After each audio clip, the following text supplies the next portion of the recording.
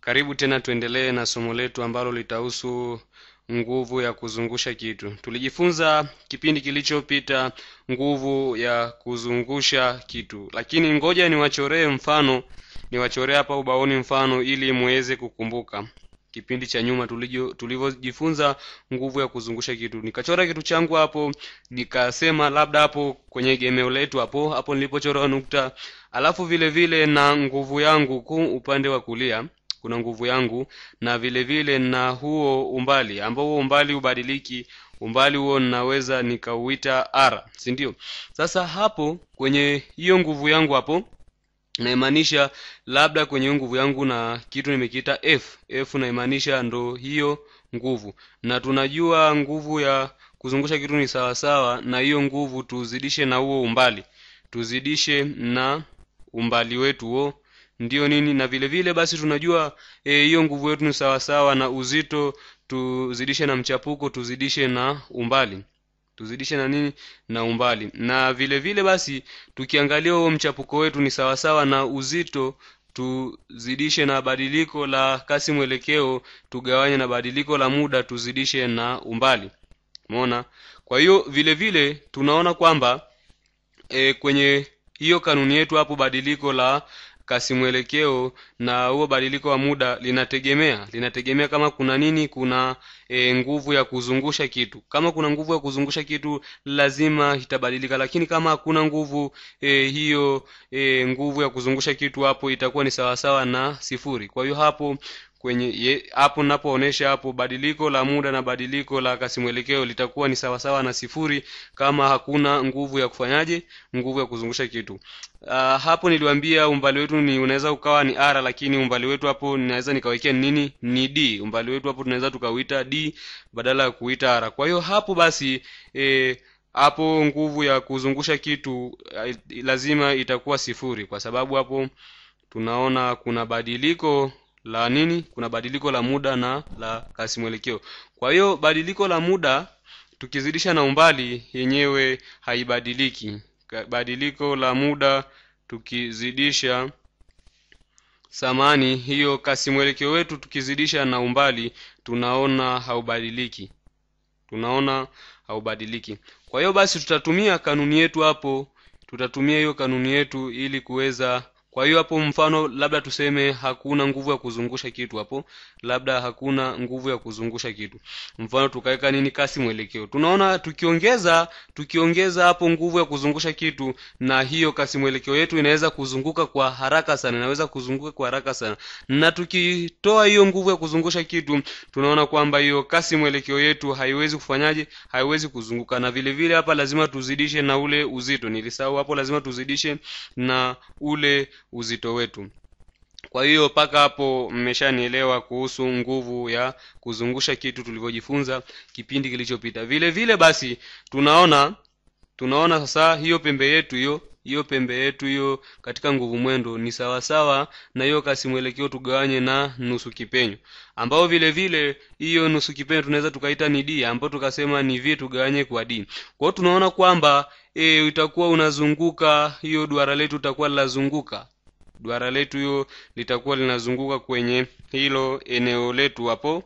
Ndio maana nikawambia basi tutatumia hiyo kanuni yetu hapo hiyo kanuni. Kwa hiyo tumeona kwamba hiyo pembe yetu hiyo hiyo pembe yetu ni sawa sawa basi.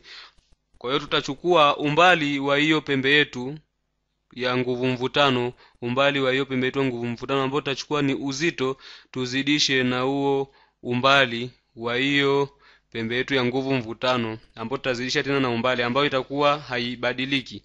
Itakuwa haibadiliki.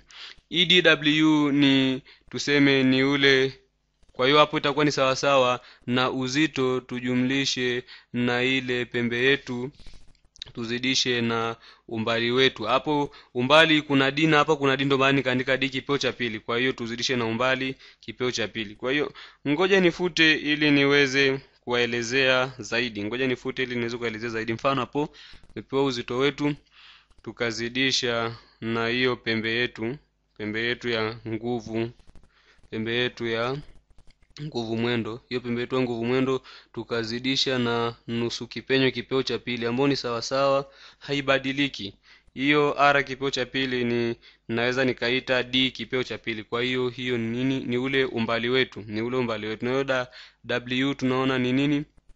Ile pembe yetu. Kwa hiyo nguvu nguvu mwendo ni sawasawa au nguvu ya kuzungusha kitu sawasawa na huo uzito tuzidishe na badiliko la kasi mwelekeo tugawanye kwa badiliko la muda tuzidishe kwa r.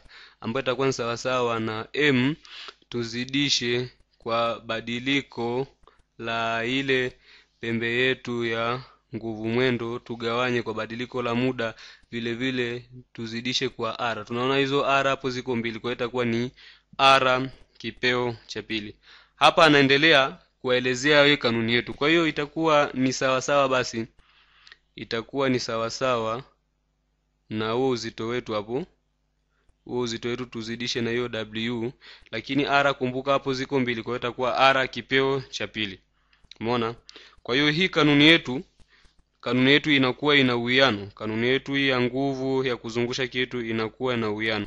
Mfano basi nimechora duara langu hapo baoni e, baada ya kuchora duara langu hapo nikasema labda kuna nikachora na kitu changu hapo baoni ambacho kitu changu hicho kina nini kina nusu kipenyo kina nusu kipenyo uh, kwa hiyo uzito wa katikati nikasema ni hapo nilipowekea hiyo nukta yangu ndiyo uzito wa katikati.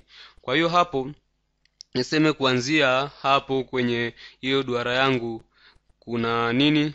Kuna kitu tunachokiita nguvu ya kuzungusha kitu. Kuna kitu ambacho tunakiita nguvu ya kuzungusha kitu labda tukakipa umbali kutoka hapo kwenye hicho kitu chetu hapo cha kuzungusha kitu nguvu ya kuzungusha tukasema kina nini? Tukasema kina uzito hapo. Tukasema hapo kina uzito. Kwa hiyo tunaona huo uzito wetu wa nguvu ya kuzungusha kitu hapo. Kitakuwa kinazunguka kupitia hiyo nguvu ya katikati hapo. Kitakuwa kinazunguka kupitia hiyo nguvu yetu ya katikati. Mfano labda tumesema e, nusu kipenyo chake labda ni kumi e, ni kumi kwa nini? Kwa sekunde ambayo tukasema ndo nini ndo hiyo e, nguvu ya nini nguvu mwendo yetu si ndio? Hapo labda tukapewa labda tukapewa ni kumi tukapewa ni sawasawa ule umbali wake umbali wake ni sawasawa na miguu kumi umbali wake wa kuzunguka tukapewa ni miguu yetu kumi. Kwa hiyo hapo tumeona kwamba tuna umbali. Kwa hiyo tukija kwenye hiyo kanuni yetu hapo tunaangalia hapo kwenye hiyo kanuni yetu kwamba uzito hapo uzito wetu tumepewa. Je hiyo nusu kipenyo tumepewa. Kwa hiyo tutaweza kutumia kanuni yetu. Kwa hiyo hapo uzito tutazidisha uzito hatuna lakini hapo tumepewa tumepewa huo umbali wetu. Lakini umbali wetu hapo ngoja nisiweke labda niweke nane niweke miguu nane ili muweze kuelewa zaidi. Maanake hapa kumi na hapa kumi nakuwa haieleweki vizuri. Kwa hiyo nitazidisha hapa nane hii ni nane kipoo cha pili kwa hiyo itakuwa sitini na nne. Kwa hiyo sitini na nne tukizidisha kwa hiyo kumi napata mia sita arobaini. Tunapata mia sita arobaini ndio za kuzunguka hapo. Si ndio? Za kuzunguka kwenye huo duara letu hapo.